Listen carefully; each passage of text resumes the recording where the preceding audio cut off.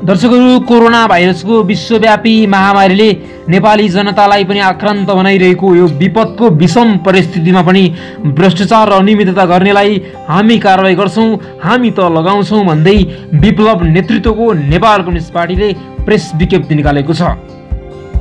नेत्र विक्रम चन्द विप्लव नेतृत्वको नेपाल कम्युनिस्ट पार्टीले कोरोना भाइरसको सङ्कटका बेलामा भ्रष्टाचार गर्नेलाई कारवाही गर्ने चेतावनी दिएको छ।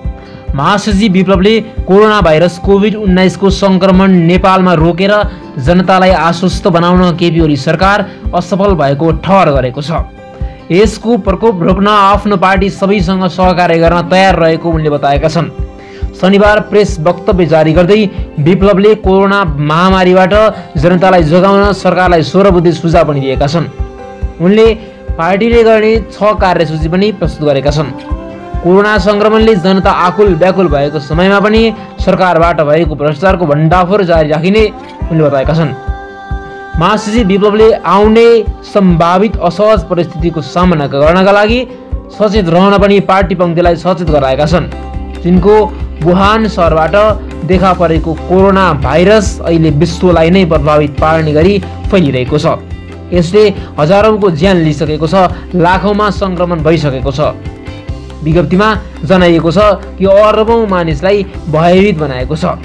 यो भाइरसको प्रभावलाई मानिसहरूले दोस्रो विश्वयुद्धपछिको सङ्कट भन्न थालेका छन्। यसले विश्व अर्थव्यवस्थामा गम्भीर प्रभाव पार्ने आकलन गरिएको छ।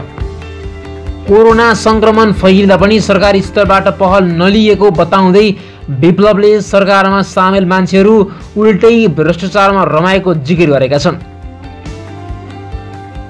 यो रोग देखिएपछि विश्वका तमाम देशहरू नेपालमा पनि रोकथामका लागि पहल गर्न सकिने सम्भावना थियो बताइरहेका थिए। तर पुँजीवादी व्यवस्था भएका देशको चरम लापरवाही जनअनुत्तरदायी अहङ्कारी मुनाफावादी प्रवृत्तिका कारण त्यहाँका जनताले ठुलो क्षति बेहोर्नु परेको छ। विज्ञप्तिमा भनेको छ कि नेपालको सामाजिक दलाल पुँजीवादी सरकारको चरम लापरवाही कमिसनखोरी दलाली प्रवृत्तिका कारण पर्याप्त पहल कदमी लिन सकेन जसले लाखौँ नेपाली नागरिकहरूलाई समस्यामा पारेको छ।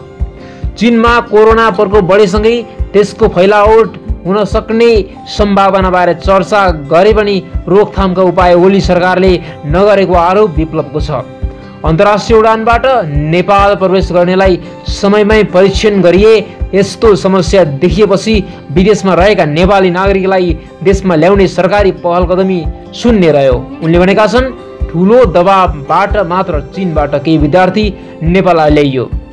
विप्लवले नेपाल भारत नाका नेपालीहरू स्वदेश फर्कन दिएर भारतीय लगायत विदेशीका लागि सीमा बन्द गर्न नसकेको पनि उल्लेख गरेका छन्। कतिपय सरकारी संयन्त्र नै सीमा बन्द नगर्ने पक्षमा रहेको देखा पर्यो।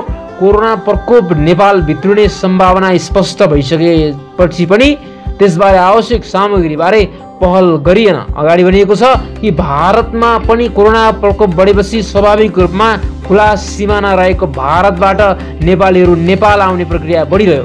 तर यस प्रकारका नागरिकलाई सीमा क्षेत्रमा रोकी देश प्रवेशमा प्रतिबन्ध गरियो र अमानवीय व्यवहार सरकारले देखायो।